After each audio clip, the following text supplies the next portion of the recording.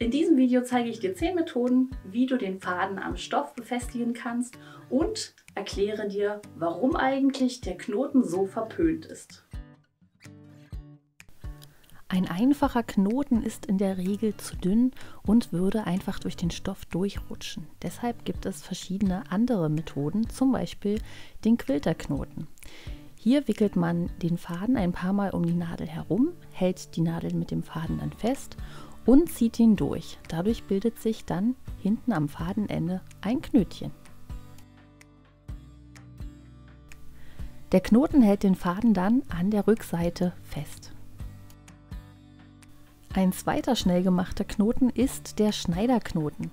Dabei wird nicht die Nadel, sondern der Finger umwickelt und dann durch so eine reibende Bewegung zwischen Zeigefinger und Daumen wird der Faden zusammengebröselt oder zusammengewurstelt. Und dadurch entsteht ein Knoten, wo meistens aber hinten auch kein Faden mehr rausguckt. Der Vorteil ist, dass man natürlich dann keine losen Fäden hinten hat, äh, wo sich dann irgendwas drin verheddern kann. Hier setze ich den Knoten vorne hin, damit man ihn für das Video gut sehen kann. Ansonsten kommt der Knoten aber natürlich auf die Rückseite. Diese beiden Knotenvarianten benutze ich gerne, wenn ich sehr dicht gestickte Bilder habe, wo ich dann einfach nur den Knoten als Anker hinten benutzen kann. Die dritte Variante ist wiederum ein Knoten. Es ist der Wegwerfknoten oder auf Englisch Away Nut. Hier wird der Knoten nicht genau an der Stickerei äh, aufgesetzt, sondern von oben ungefähr so 5-6 cm entfernt. Und das hat den Hintergrund, dass wenn man fertig ist mit Sticken, dass der Knoten oben abgeschnitten wird und dann das Fadenende, was lang genug sein so, muss, ähm, wieder eingefädelt wird und auf der Rückseite vernäht wird. Diese Methode wird schon sehr lange und auch noch sehr häufig in der traditionellen Stickerei benutzt und ist eigentlich so mit einer der wichtigsten ähm, Methoden, mit denen du auskommen kannst, ohne dass irgendwo noch ein Knoten zu sehen ist da man eine gewisse Breite des Stickrahmens braucht oder des Gestickten, ähm, ist diese Methode zum Beispiel für ganz kleine Stickereien oder für so kleine Stickrahmen gar nicht geeignet, weil man einfach nicht genug Platz hat. Aber ansonsten ist das eigentlich so, ja, mit einer der Standardmethoden. Der Doppelstich ist eine sehr einfache, aber effektive Methode. Dafür werden zwei Stiche, die sehr kurz gehalten werden, übereinander gestickt. Am besten lässt man das Fadenende mindestens 1 cm lang, damit nichts nachrutscht.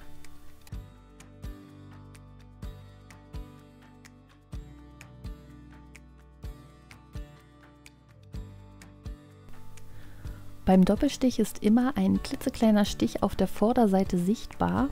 Dementsprechend kann man diese Methode nur benutzen, wenn man danach diesen kleinen Stich überstickt, zum Beispiel mit einem einzelnen Stich oder wenn man flächig arbeitet. Hier sticke ich zum Beispiel einfach mit Vorstichen über diesen kleinen Ministich drüber hinweg, ohne dass es danach noch sichtbar ist. Als kleines Beispiel habe ich das hier bei der kleinen Kinderjacke benutzt.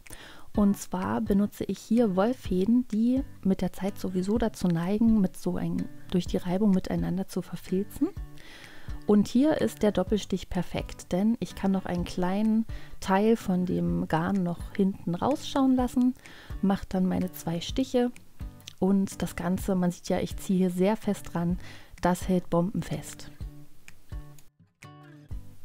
Bei der Überstickmethode wird der Faden einfach auf der Rückseite hingelegt und zwar genau über die Fläche, die dann danach bestickt werden soll. Das funktioniert besonders gut bei Kreuzstich oder Plattstich, also überall, wo ähm, wirklich flächig drüber gestickt wird. Hier sticke ich den Kreuzstich über den Faden drüber und man sieht so ein bisschen den Faden auf der Unterseite durchscheinen. Ich halte ihn mit einem Finger fest wenn sehr flächig und abdeckend gestickt wird auf der Vorderseite, dann kann man auch, anstatt den Faden zu legen, einmal eine kleine Vorstichlinie machen, damit der Faden an der richtigen Stelle ist.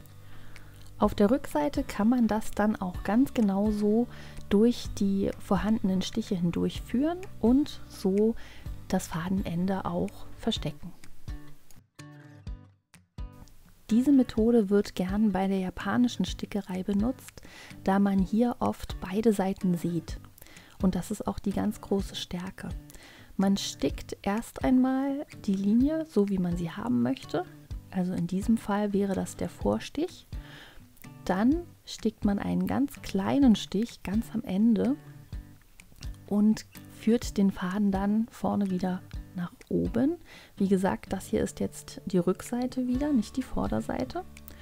Und dann imitiert man im Prinzip genau dieselben Stiche, die man vorher gemacht hat. Und was das macht, ist, äh, man bekommt zwar eine etwas dickere Linie, also man sieht schon ein Stück weit, wo man doppelt gestickt hat und wo nicht, aber man sieht nicht wirklich irgendwelche Fäden oder Knötchen oder sonst irgendwas. Also es ist ein sehr unsichtbarer Fadenanfang und vor allem von beiden Seiten unsichtbar. Wenn so wie hier jetzt da noch ein kleiner Schniepel rausguckt von dem Fadenende, kann man den dann noch abschneiden.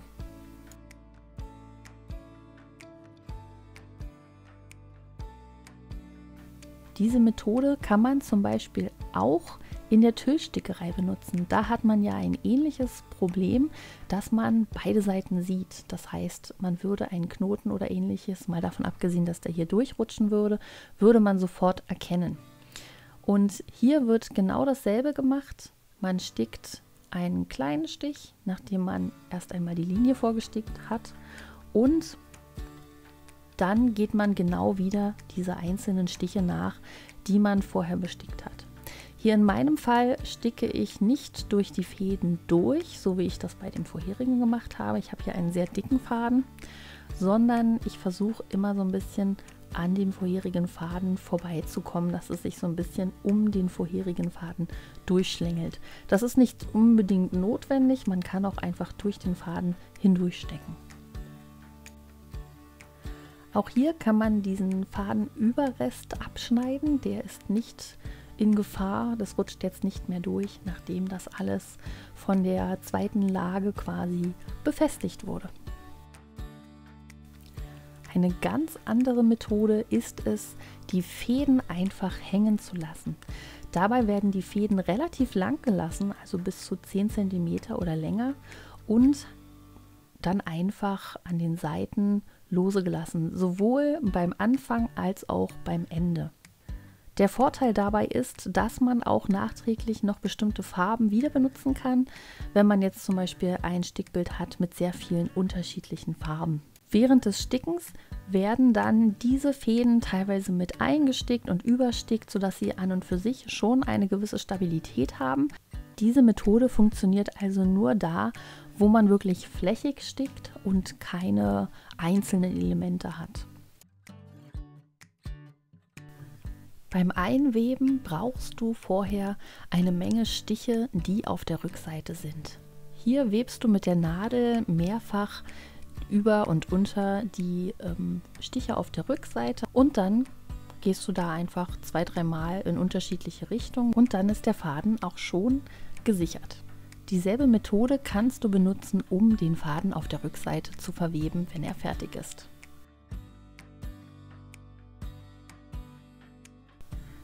Der Schlaufentrick ist eine ganz einfache, aber effektive Methode. Dafür brauchst du entweder 1, 2, 4 oder 6 Fäden. Es wird immer die Hälfte der Anzahl der Fäden benutzt, die du benutzen möchtest. Wenn du also mit zwei Fäden sticken möchtest, musst du einen Faden nehmen. Der Faden wird dann in der Mitte halbiert, also nicht durchgeschnitten, sondern gefaltet, so dass du am Ende eine Schlaufe hast. Dann stickst du mit der Nadel einen kurzen Stich auf deinen Stoff und gehst dann durch die Schlaufe mit der Nadel noch einmal durch, sodass diese Schlaufe nicht durch den Stoff durchrutscht, sondern festgehalten wird. Jetzt hast du einen ganz kleinen Stich auf deinem Stoff, den du dann ganz normal übersticken kannst und dann kann es losgehen. Hier zeige ich dir den Schlaufentrick noch einmal für Stickerei. Der Schlaufentrick ist super geeignet für gestricktes, denn so vermeidest du jegliche Knötchen, die dann vielleicht an einem Kleidungsstück reiben würden oder durchrutschen würden auf die Vorderseite. Ganz ähnlich wie der Schlaufentrick funktioniert die Schlaufe mit einem Knoten. Das funktioniert allerdings nur, wenn du mehr als einen Faden oder einen sehr dicken Faden, den du durchstechen kannst, zur Verfügung hast. Hier wird zuerst ein Knoten gemacht und dann gehst du mit der Nadel durch die Fäden hindurch. Also hier bei den zwei Fäden gehst du in der Mitte durch oder bei einem dicken Faden einfach durch den Faden hindurch. Und so hat man im Prinzip auch wieder so eine Schlaufe wie beim vorherigen, nur dass sie mit einem Knoten gebildet wird. Hier siehst du, wie ich das Ganze nochmal mit einem Wollfaden mache. Wenn du es für Kleidung benutzen möchtest, dann würde ich empfehlen, den Faden hinter dem Knoten länger zu lassen und diesen dann auch noch zu verweben, damit der Knoten nicht durch das Gestrickte hindurchrutscht. Warum darf man jetzt eigentlich keinen Knoten benutzen? Früher wurde unter anderem die Qualität einer Stickerei an der Sauberkeit der Rückseite gemessen. Das war auch deshalb so, weil die bestickten Textilien durchaus von der Rückseite aus sichtbar waren. Bei einer Tischdecke oder einem Handtuch blitzt schon mal die Rückseite raus. Es hatte aber auch noch einen anderen Hintergrund. Ein Knoten kann sich relativ leicht lösen. Fäden laufen über die Jahre doch ein wenig ein und wenn der Faden am Knoten zu kurz ist, kann er durchrutschen oder sich lösen. Auch bietet ein Knoten Reibungsfläche, wenn die Stickerei auf der Haut aufliegt. Gerade an empfindlichen Stellen an der Haut, zum Beispiel hier ähm, am Hals zum Beispiel, kann ein Knoten durchaus zu Irritationen führen und einfach kratzen. Deshalb plädiere ich bei Textilien, die getragen und oder gewaschen werden, immer dafür, keinen Knoten zu benutzen. Bei Stickbildern, die als Deko an der Wand hängen, ist das jedoch absolut egal. Auch wenn die Rückseite zu sehen ist, also zum Beispiel bei Handtüchern, Schals oder Vorhängen, lohnt es sich, die Rückseite einigermaßen ordentlich zu sticken. Wenn du mehr darüber wissen möchtest, wie die Rückseite sauberer gestickt werden kann, dann schreib mir das gerne in die Kommentare. Jetzt wisst ihr Bescheid, welche Methoden es zum Fadenanfang gibt. Aber jetzt kommt natürlich die große Frage auf, wie beende ich denn den Faden? In den meisten Fällen ist es sehr ähnlich wie der Fadenanfang, aber ich werde noch ein zusätzliches Video dazu machen, wie man den Faden auch in unterschiedlichen Situationen beenden kann.